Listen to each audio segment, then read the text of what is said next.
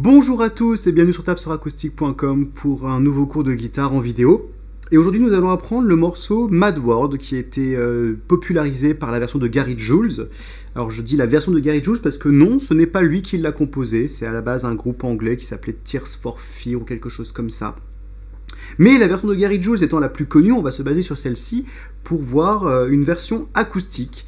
Donc l'original étant joué sur un piano, on ne peut pas simplement complètement copier-coller la partition, on va devoir arranger un petit peu les choses, notamment au niveau rythmique, il va falloir essayer d'être un petit peu inventif. Mais ça reste un morceau qui est très accessible, parce que la grille d'accords est facile à mémoriser, elle ne comporte quasiment que des accords faciles, et la rythmique peut être extrêmement simple, et ça sonnera toujours aussi bien. Donc pour travailler tout ça, on va faire trois parties.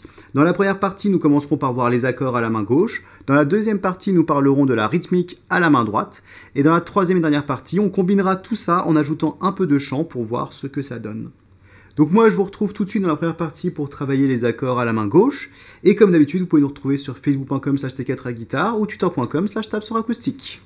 On fait 1, 2, 3, 4, le sol majeur, 2, 3, 4, le ré majeur, 2, 3, 4, et on finit sur la majeure, 2, 3, 4, on recommence sur mi majeur.